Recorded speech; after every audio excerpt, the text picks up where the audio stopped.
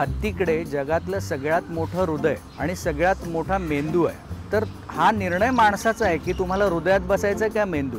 कारण हृदयात बसलात तर हत्तीच्या आकाराचं प्रेम मिळेल आणि मेंदूत बसलात तर हत्तीच्या आकाराचा राग मिळू शकेल.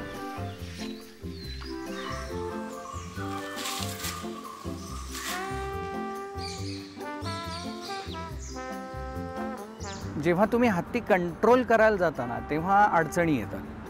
जेव्हा तुम्ही त्याला समजून घेता त्यावेळी तुम्ही त्याला कंट्रोल करण्याची गरज नसते.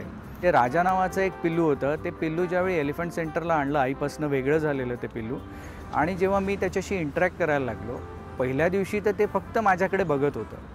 दुसऱ्या दिवशी ते माझ्या थोडं माझ्या दिशेने पुढे आलं पण जवळ आलं नाही.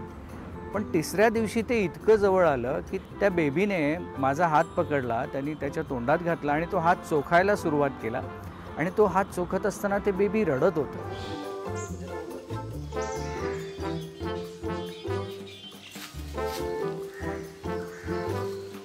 अभ्यासकांच्या मते प्रत्येक पंधरा मिनिटाला कुठे ना कुठे जगात हत्ती मरतोय आणि हा जर हत्ती असाच मरत राहिला तर फार लवकर ही जमात हत्ती ही जात हत्तीची ह्या पृथ्वीतलावरनं नाहीशी होईल नामशेष होईल.